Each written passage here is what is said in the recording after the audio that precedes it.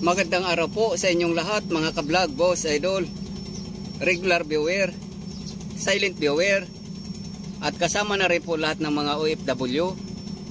Ngayon po, mayroon pa akong uh, gagawin. Wiper po na hindi gumagana. Pero habang hindi ko pa po inuumpisahan yung uh, trabaho ko sa wiper, sa pagre-repair, uh, pagmamasdan din po muna natin yung uh, mechanic na kasamahan ko. Naglalagay po siya ng uh, radiator dahil uh, pinarepair nila yung radiator. Mayroon siyang leak. Pag hindi pa ako nag-uumpisa ng uh, electrical job ko sa wiper uh, dito po muna tayo sa mga nagsasalpak uh, ng radiator na pinarepair nila. Kasi nag-leak to eh, hindi ko rin po may start yung trabaho ko dahil nakaangat yung ulo. Pagmasdan po muna natin yung gumagawa dito na mga kasamahan ko. Ito po yung uh, ito po yung uh, kasamahan ko na mechanic. Shout out idol! Oh shout out. Uh, shout, out, out. Uh, oh shout out din yung kasama ko na ano uh, driver itong isa driver to. Siya yung may hawak ng elf na to. At itong uh, heavy equipment uh, hydraulic mechanic namin uh, siya yung responsibilidad na gumagawa ng radiator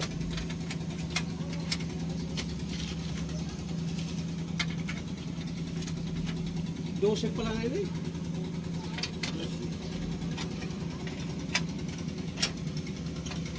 Yes pala ni bro. So, uh, tatapos na tong dalawang nagtutulungan na to. Itong pagsasalpak ng radiator. Bro, yung host. Urutan ano? Konti lang.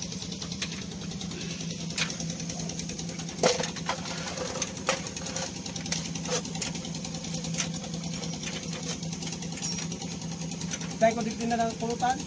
Oo, sa house. Sa house na. Pwede mo lang pa rin. Itong radiator na to po ang uh, hindi natin pwedeng pabayaan kasi makina ang maapektuhan nito pag uh, pinabayaan. Mag-overheat yung makina at uh, pwede pang uh, ikasira kaya hindi pwedeng ibabaliwala lang to.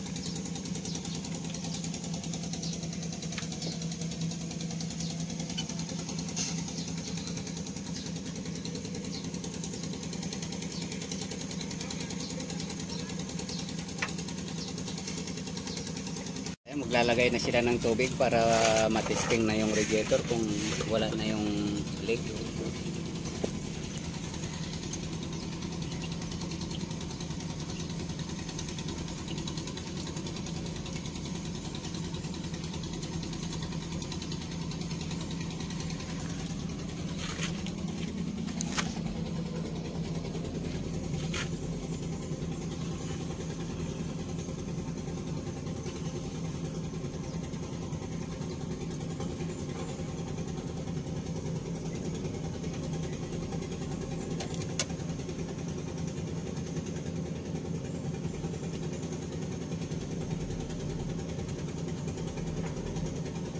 ang pagkatamang uh, paglalagay nga pala ng tubig dito itong radiator paanda rin yung makina.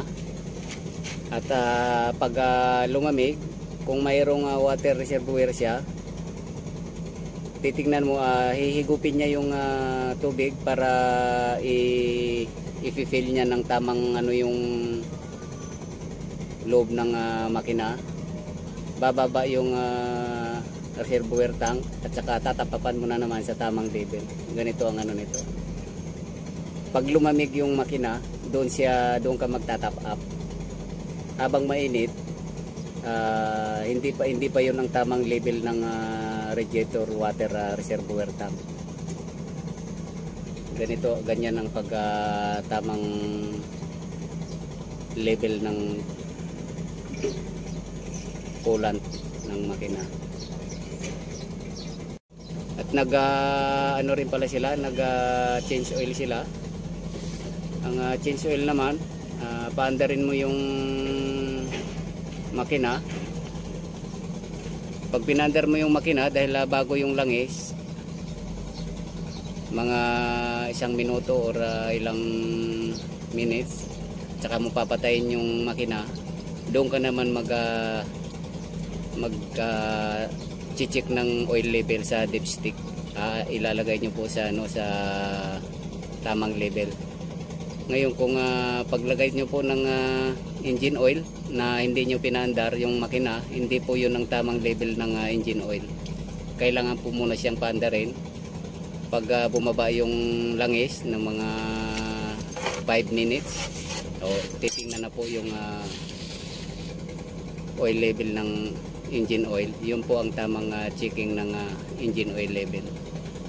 So, kaya po natin na pinapandar yung makina para sa engine oil level kasi yung bagong ah, engine oil filter wala pa pong laman ng langis yun. So wala pa pong circulation ng ah, engine oil. Ah, kaya kailangan paandarin muna bago checkin yung oil level para magkaroon ng laman yung ah, oil filter at saka pa lang siya titingnan yung ah, engine oil level. Yun ang proper ah, checking ng level ng ng ah, engine oil. So ito po uh, paanda rin na po siya para ma-check yung ah, engine oil level. At saka engine coolant. Start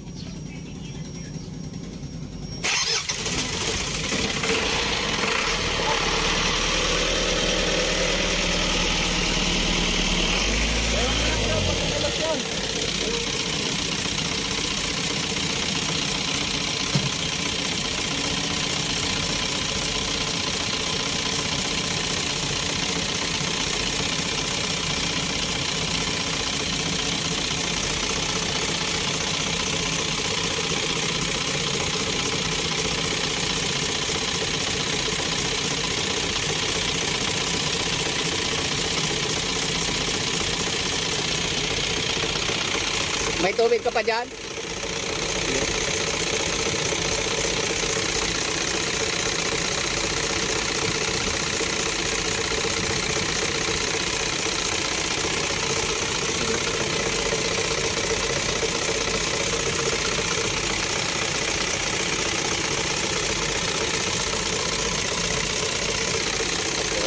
Habang umaandar siya, kaya ano po natin yung tubig na mag-circulate.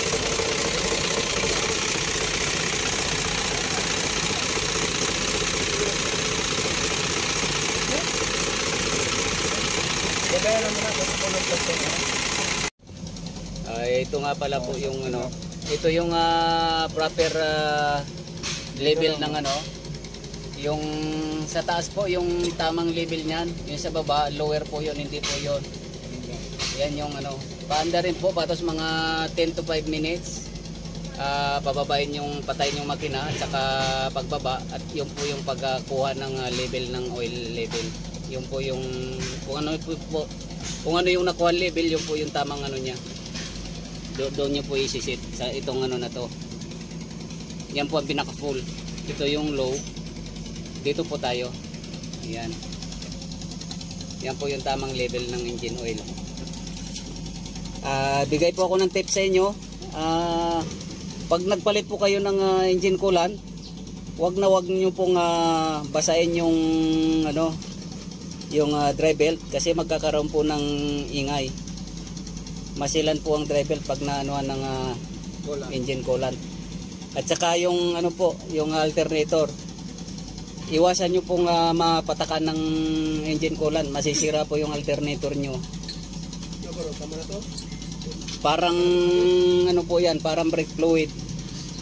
Ganun po ang ano niyan, ah, kabagsik yung ah, engine coolant na yan.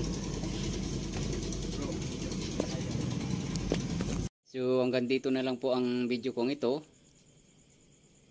Sana po ya mayroon po kayong natutunan sa bidyong ito.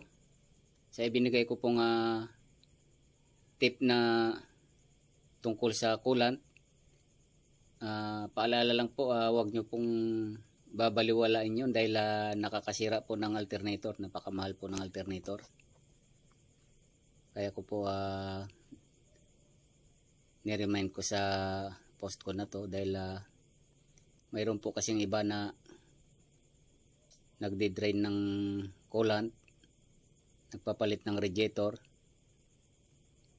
Ah hinahayaan pong ah, nalalagyan ng coolant yung dry belt at saka pag minsan yung yung ah,